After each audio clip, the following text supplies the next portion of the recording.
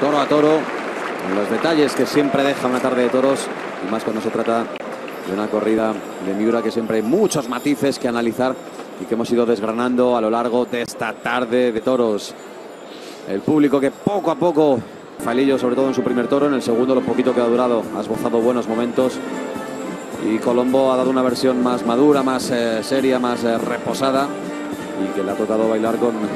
Enseguida intentaremos tener la valoración del entorno de la ganadería de Miura y también esperaremos a los matadores de toros en ese patio de cuadrillas para obtener las declaraciones del eh, venezolano Jesús Enrique Colombo.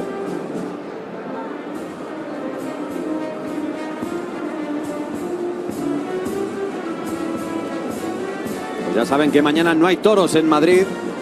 Mañana no hay toros en la Monumental eh, de las Ventas, pero que volveremos el próximo martes el- con la novillada de Fuente Imbro para Alejandro Peñaranda, Ismael Martín y la presentación de Jarocho.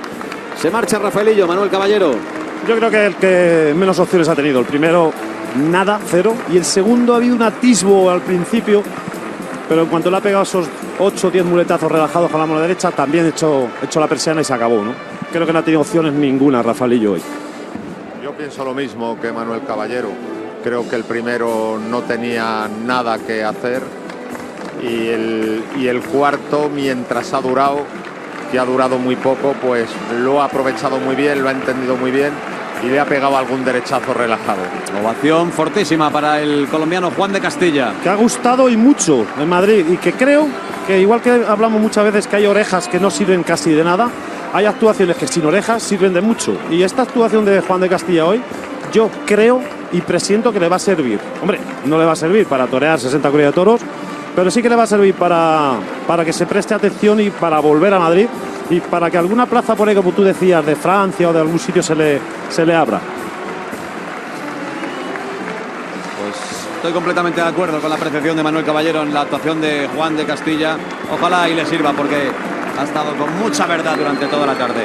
Le va a servir mucho. Y se marcha Jesús Enrique Colombo. David.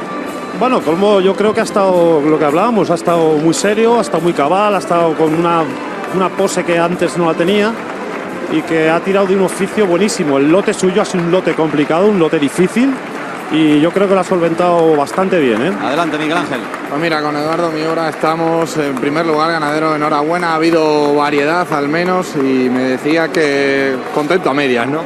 Hombre, sí, no, es, no, no ha sido la, la corrida ideal ni mucho menos, pero ha habido toros que, que sí han servido y, y, hombre, ha sido variada y han sido entretenidas, creo. Segundo toro, sobre todo por destacar en juego, no sé si es el que más completo le ha parecido. Hombre, el segundo toro es el que más clase ha tenido en vistiendo. Decir que Juan ha estado muy bien en, en sus dos toros, ¿eh?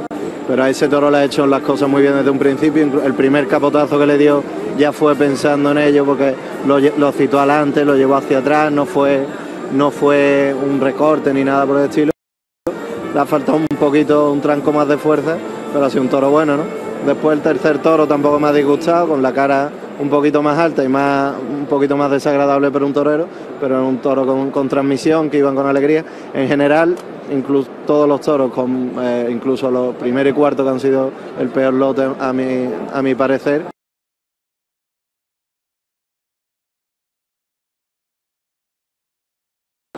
han tenido una virtud que se han movido una barbaridad, incluso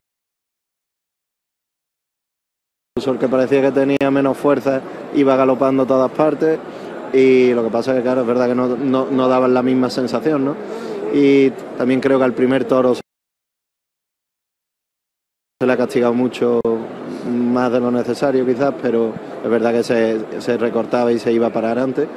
Pero bueno, que ha sido una corrida variada y, y de todo tiene que haber en la viña del Señor. Enhorabuena sobre todo por la vuelta a Madrid, ganadero. Nada, muchísimas gracias. Esperemos no tardar tanto a la próxima. Gracias. Las palabras de Eduardo Miura, hijo, que ha hecho un análisis perfecto de la situación y sobre todo un ganadero que habla con eh, mucha naturalidad, con mucho conocimiento y con mucha frescura. Y viene bien también a la toromaquia esa gente joven, los ganaderos jóvenes que también enarbolan una nueva bandera de la juventud al frente de las ganaderías.